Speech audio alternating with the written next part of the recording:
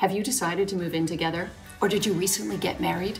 Here's a survival guide for the first year of sharing a roof.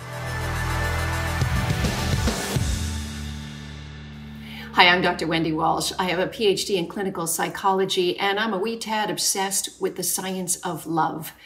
You know, couples often say that everything was great while they were dating or while they were engaged, but as soon as they moved in together, either before marriage or after marriage, all the problems started. All those tiny little habits that didn't bother them before suddenly were huge and drove them crazy. Well, here's a quick survival guide so that you can get through the first year smoothly First of all, you got to understand why the little idiosyncrasies are starting to bother you. When you're not living in the same house, you get to compartmentalize a bit, save all your kind of bad behavior for home. And when you're together, you can be the person you wished you were. So now, for many couples, reality is setting in. It's also important to realize that every single intimate relationship is a constant struggle between a union and autonomy. Think about it union, security, comfort, protection, smothering, engulfing. Think about autonomy, freedom, loneliness. And this is what's going on in people's heads all the time in relationships, trying to find that balance between union and autonomy. So when you first move in together and you notice all those little things that drive you crazy, you know what they say the toothpaste not rolled properly, the toilet seat left up, the dirty laundry on the floor instead of the basket, the hair in the sink, whatever it may be. The important thing for you to realize is that this is your problem, not theirs. It's really crucial that you understand that you're the one having an emotional reaction to it.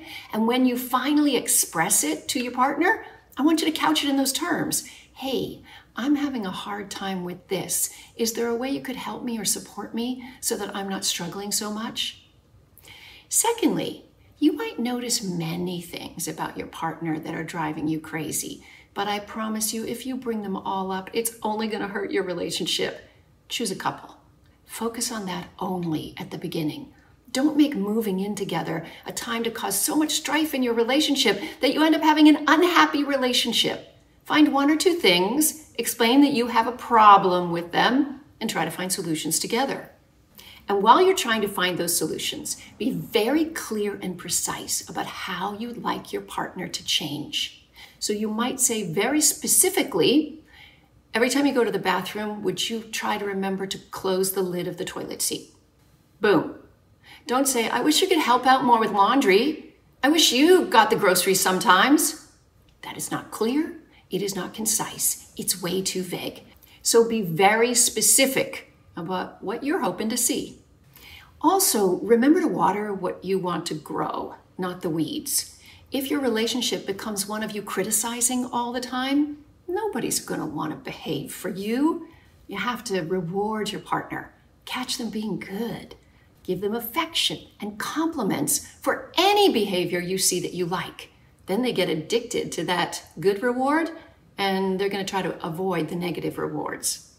Finally, look at yourself and your behaviors. Humans love reciprocity, and we also like fair negotiations. So, a healthy negotiation strategy might say, Hey, if I can get you to close the toilet lid every time you go to the bathroom, what would you like me to change? You might be surprised what's bugging them about you. This is how you're actually setting up great communication styles to have a long term, healthy, fulfilling, loving, and secure relationship.